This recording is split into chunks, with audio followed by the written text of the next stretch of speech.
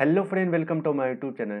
जो भी candidate Assam rifles का कुक ट्रेड से दीमापुर में चार जनवरी को एग्ज़ाम दिए थे, उनका जो है रिज़ल्ट दस जनवरी को आने वाला था, लेकिन नहीं आया। तो आप लोग को बता दें, आप लोग का जो रिज़ल्ट है, वो कब आने वाला है? डेट आप लोग को बता देते हैं कि पंद्रह जनवरी से लेके, पंद्रह जनवरी से लेके आप लोग का सत्रह जनवरी के बीच आप लोग का जो है, जो कुक का जो एग्ज़ाम दिए थे आप लोग दीमापुर में असम राइफल्स का, उसका जो है रिज़ल्ट आप लोग को आ जाएगा। कब? पंद्रह, सोलह, सत्रह जनवरी, इन लास्ट जो है आप लोग सत्रह जनवरी तक वेट कीजिए, आपका जो है रिज़ल्ट शो कर दिया जाएगा। आपका जो रिज़ल्ट होगा, वो कहाँ शो होगा? आपके ईमेल आईडी पर। आपके ईमेल पर जीमेल पर आपको जो है, आपके ईमेल आईडी जो आपने दिया था फॉर्म भरते टाइम जो आपने ईमेल वहाँ पर दिया है, वहाँ पर जो है आपका जो है रिज़ल्ट शो कर दिया जाएगा या फिर आपके जो असम राइफल्स के वेबसाइट है ऑफिशियल वहाँ पर भी शो कर दिया जा सकता है। देखिए वहाँ पर शो करता है या नहीं, लेकिन आपके ईमेल पर भी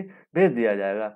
जो कैंडिडेट पास हो जाएँगे उनको जो है ईमेल पे भेज दिया जाएगा कि इस दिन मेडिकल है और आपको जाना होगा। और एक इंपॉर्टेंट बात, आप लोग जो है फेक न्यूज़ पर ध्यान मत दीजिए। कल जो है बहुत वायरल हो रहा था एक मैसेज जिस पे लिखा हुआ था कि कुछ एक कैंडिडेट का नाम लिखा हुआ था, उस पर मेडिकल भी डेट दिया हुआ था और कटअप भी दिया हुआ था कि ये पास आउट हो गया। तो उस पर ध्यान मत दीजिए, वो जो है गलत है। हमें भी मिला था, हमें भी जो है ग्रुप में सेंड किए थे, लेकिन फिर मालूम चला कि ये फेक है, उसको पढ़ा तो उसको फिर डिलीट कर दिए हम।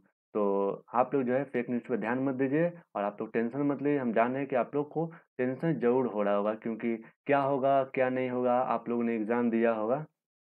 तो थोड़ा डर लगता है रिज़ल्ट आने में। तो बिल्कुल डरना नहीं है, जो भी होगा अच्छा होगा। तो आप लोग जो है पंद्रह, सोलह, सत्रह जनवरी तक आप लास्ट जो है सत्रह जनवरी तक आप लोग इंतज़ार कीजिए, आपको जो है रिज़ल्ट आ जाएगा। आपके ईमेल पर या फिर हो सके तो देखिए असम राइफल्स के वेबसाइट पर अपलोड होता है या नहीं, लेकिन कन्फर्म है कि ईमेल पर आपका जो है, भेज दिया जाएगा। तो चलिए आप लोग से मिलते हैं नेक्स्ट वीडियो में। बस आप लोग को यही बताना था। जय हिंद बंदे मातरम।